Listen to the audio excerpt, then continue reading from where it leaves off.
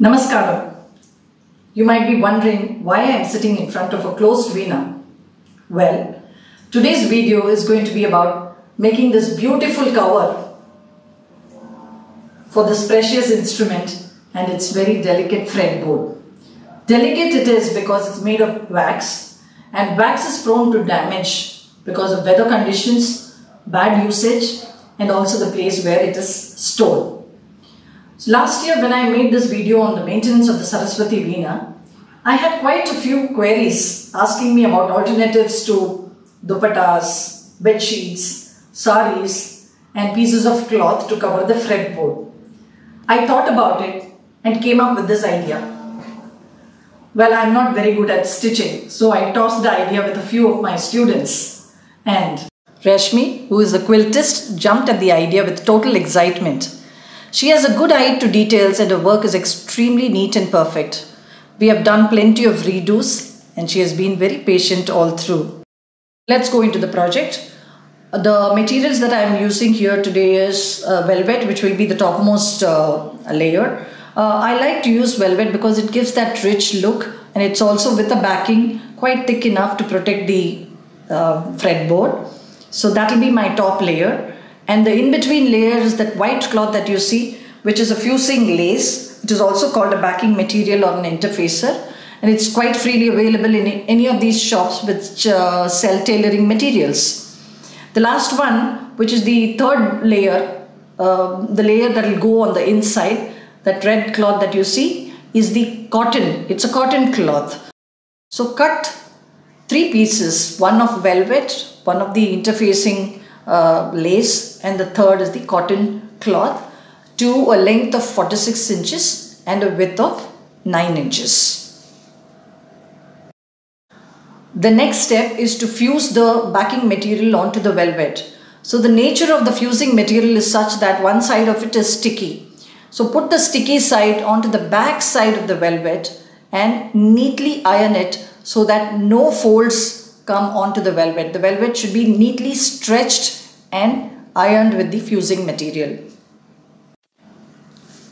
So it is at this stage that if any of you would like to embroider the velvet, make some designs on it, stitch some designs, cross stitches or something onto the velvet, you can do at this point in time. So this is the last, uh, the final piece, the, the cloth that is going to come on the inside of the fretboard uh, cover, the red cloth a tiny, when you cut the cloth, tiny threads will be hanging around the corners. So just stitch it all neatly on all four sides. And now it is ready to be fused onto the other two layers. So the last important piece of this fretboard cover are the ribbons that have to be tied on each side of the main cover. So we need about 8 of them, each measuring 6 to 7 inches.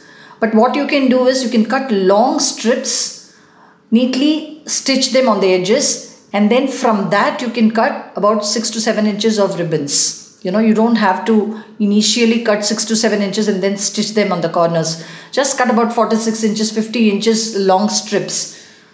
Neatly stitch their edges and they are ready to be cut into small pieces of 7 inches. Now you have to stitch these ribbons onto the red cloth. Keep them as pairs at a distance of 2, 8, 20 and 28 inches and stitch it onto the red cloth. Take care to see that the ribbons are not very much inside the cloth. They should be around along the edges.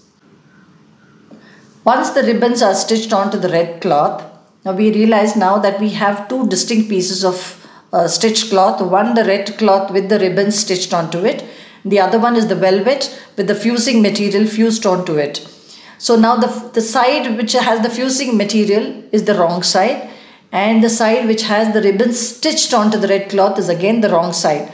So keep both the wrong sides facing each other and stitch on all the four corners, two lengthwise and two breadthwise. So you get a final single piece which will be a beautiful color.